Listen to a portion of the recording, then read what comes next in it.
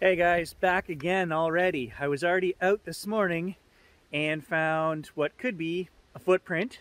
So we did a video on that, Gage and I. Now I'm gonna hike back in the half mile and I wanna take some measurements because I know you guys are gonna ask me. So let's be scientific. I'm gonna go back into where I saw it, measure it. And along the way, I'm also bringing my uh, camera with the macro lens. And I saw a bunch of mushrooms and cool fall stuff. So I wanna take some pictures of that along the way. But let's get back to that footprint and be scientific about it.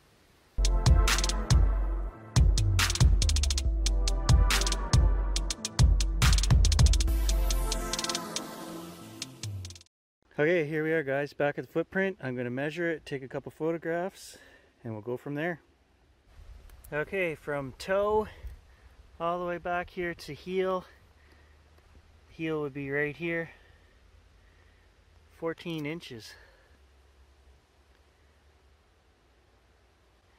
And the reason I say heel there is because that's not compressed. So the heel would come around here. So 14 inches.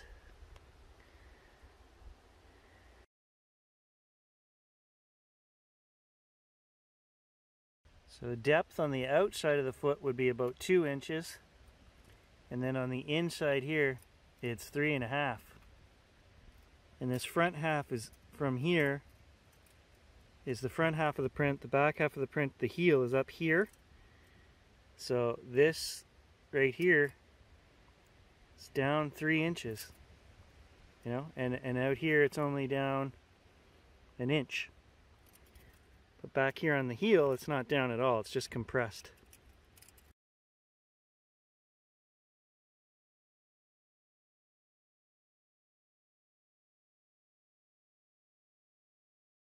It actually took a bit more work to find that exact spot, that exact little trail. I was out here 35 minutes zigzagging until I found exactly where we were this morning. So that's what I mean by there's lots of stuff in here, evidence and new things to find because it's just so much ground to cover. Eh, you find something, it's hard to come back and find it, that exact spot again. In the last video, I didn't have a measuring tape. So I just guessed at the uh, width of this and I said 30 inches. So let's take a look. We'll hook it right here on the end. 30 and 3 quarter inches. How's that for a guess? Can you trust Gary to measure stuff in the bush? I guess you can.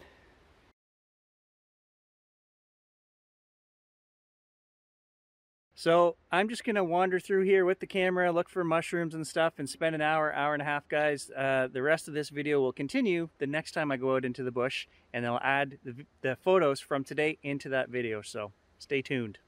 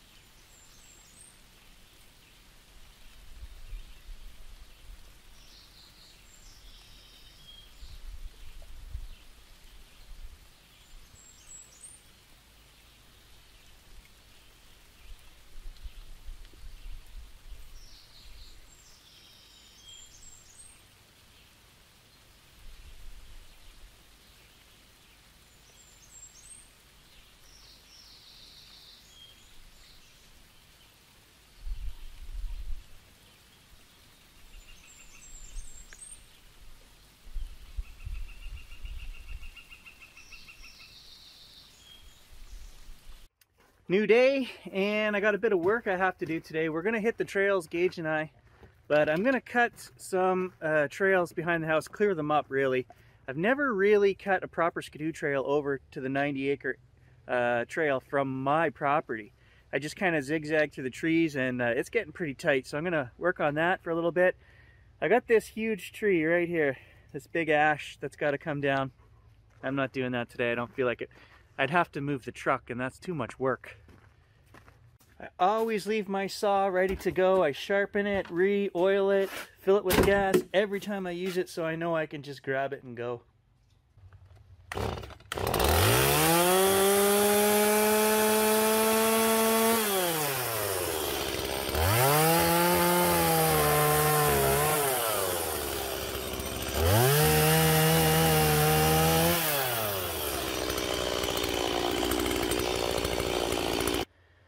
Well, there's the Skidoo Trail right there, guys, and you can see it is right full of water.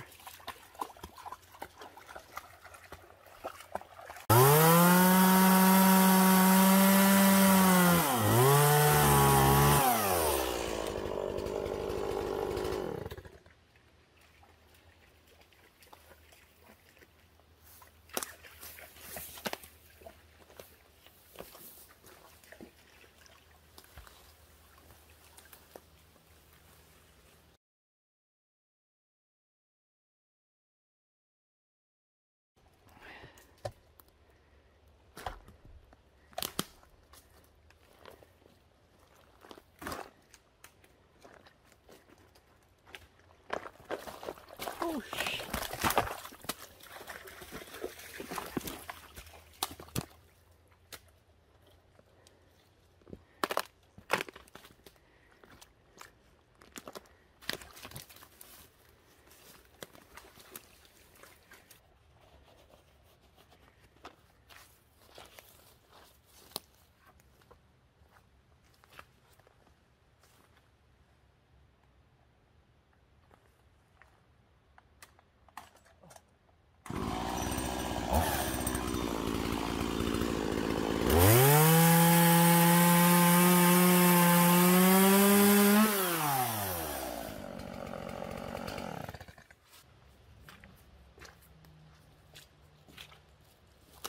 like a gazelle.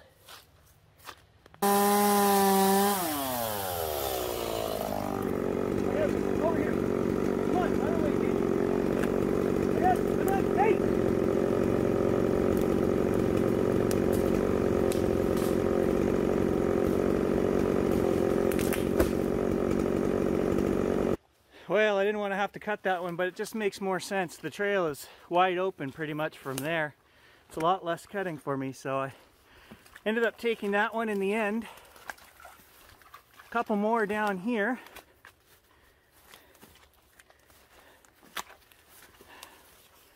And then we're right on the 90 acre trail. Right here. So, hey! Just a piece of advice for Tom, eh? If you finish the job you start, you won't lose your chainsaw. If you guys missed it in the Painting with Canada video, I heard Tom coming through the swamp here and I yelled down what was he doing. He said he was retracing his steps because he lost his chainsaw. Yep, true story. A little bit of chainsawing is good. Actually, I've known moose to come back into the to the whine of a chainsaw, so maybe we can get that bull to stick around. I doubt it. I think he's long gone, but that's it for me for today for work. I think I'm to take Gage for a nice hike somewhere. This is the cleanest Gary you guys are to see because I've already showered twice today. I got up, I decided I wasn't to do much work today. Sunday, I'm to rest. Had a shower and then came out and worked for three and a half hours cutting trails. Had to go home and shower again and then I thought, okay, I'm done for the day and Gage was winding at the door, so we're out for another walk. Yeah, it sure looks like Squatch has been through here, I'm telling you. Everything's all bent down. Loopers.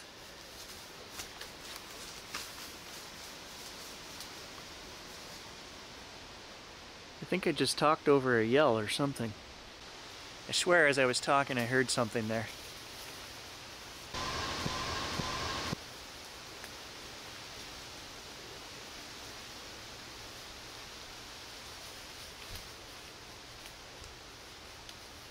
It's kind of windy, I don't know. Could have just been a crow or something, I don't know. It came from that way, whatever it was.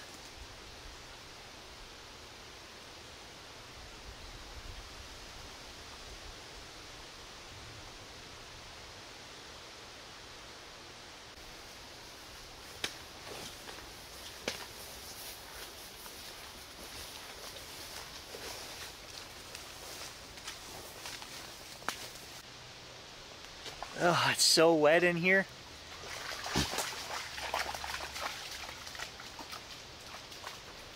I just heard something again.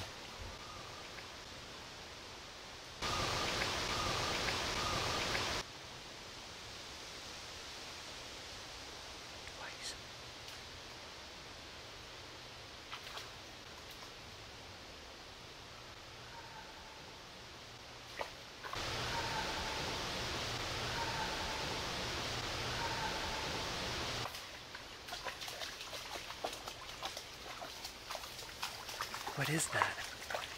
Gage. I'm trying to move to a dry spot so I don't hear the dog running through water.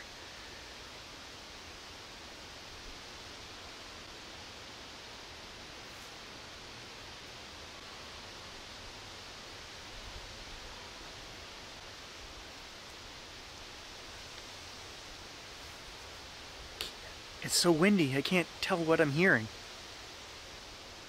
There's something there.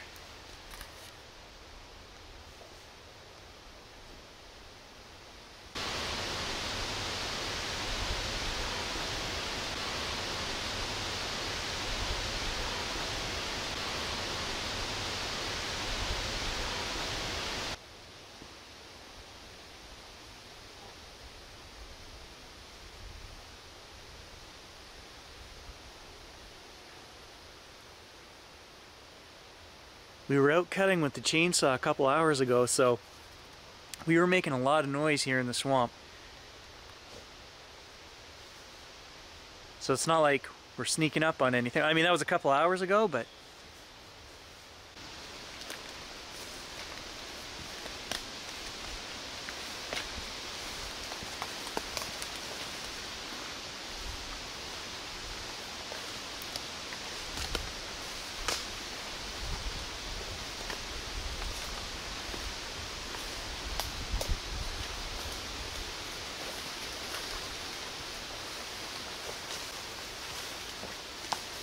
It was back here, whatever I heard.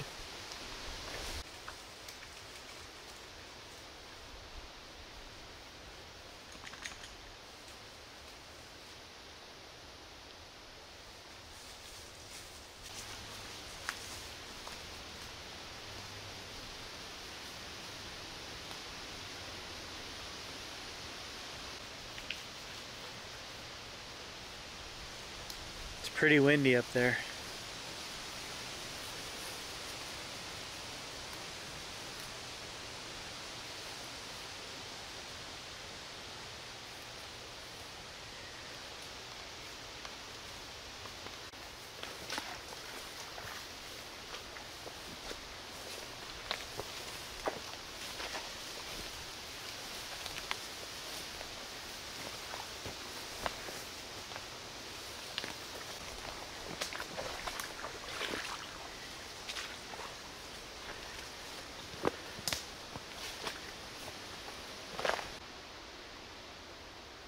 Gage just took off after something, I don't know. Took off, full speed.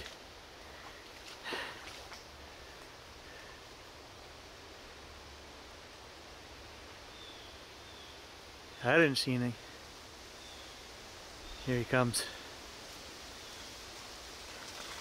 What do you see?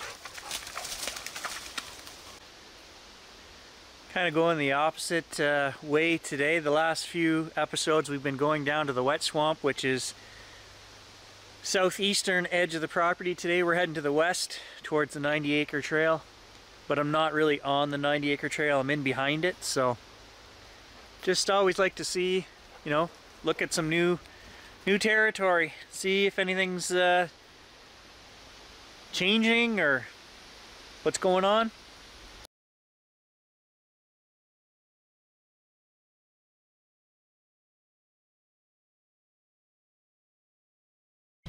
So a reminder, all of this is private property. So me, Tom, Dave own all on this side.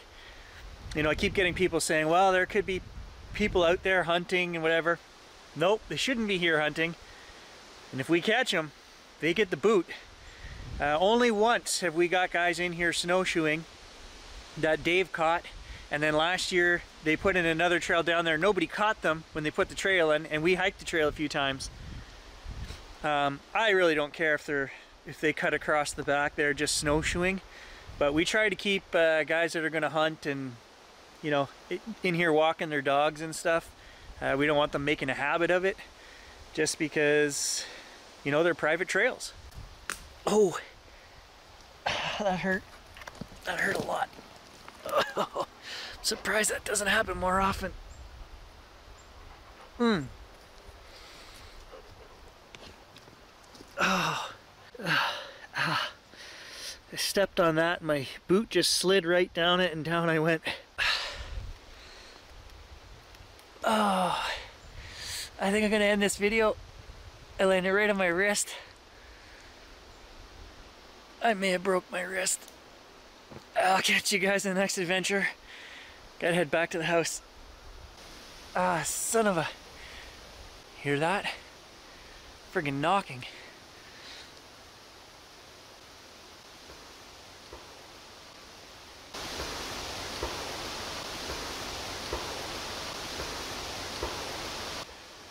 A knock.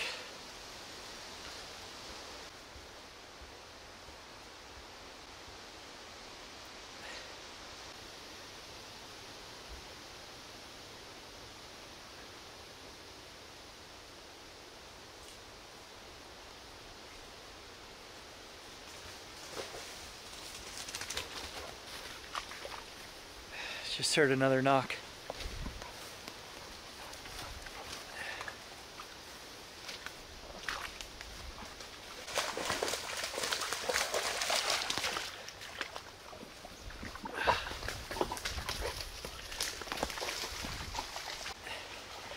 Yeah, it sucks, guys. I wanted to go for a good walk, and I've heard stuff yelling today, and I heard knocks, but uh, if you've ever wiped out on a dirt bike or fallen down the stairs, those are the only two other times in my life where I actually uh, broke something. I gotta say, this hurts kind of like that. oh, my own stupid fault. Watching the camera and not watching where I'm going, and I'm very bad for that. Good thing I live with a doctor. I guess she can take a look at it for me. Just relax. It is relaxed. I think it's swollen. Right there. And a little lower. Is this? No, where your other thumb is. But this is a big. I I don't know. It hurts Can I everywhere. see? Diagnosis swollen and strained.